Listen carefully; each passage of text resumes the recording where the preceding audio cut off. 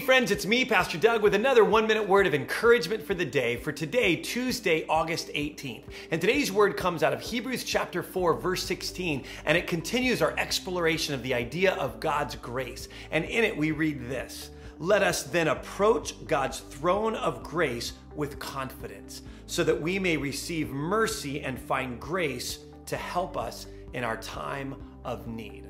Uh, whenever I read this passage, I, I have this image that pops into my head. Have you ever watched the old movie, The Wizard of Oz? Um, most of us have probably seen that movie. There's this scene where Dorothy and her whole crew come into the sort of throne room of the Wizard of Oz, and his giant head is being displayed up on a screen. There's fire and smoke and loud noise, and it's a very intimidating scene.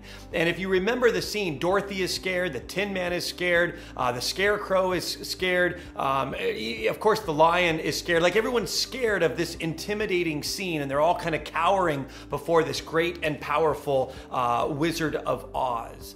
And that's not the image that we get in Hebrews chapter 4. In it, God invites us into uh, his throne room, and he says that we can enter with confidence. Now, that's not. Uh, you know, uh, self confidence, right? That's not confidence in our own ability or the fact that we deserve to be there. No, no, no we enter the throne of grace based on the finished work of Jesus Christ on the cross, which permits us to come into God's presence with confidence and boldness, not in ourselves, but on what He's already accomplished for us.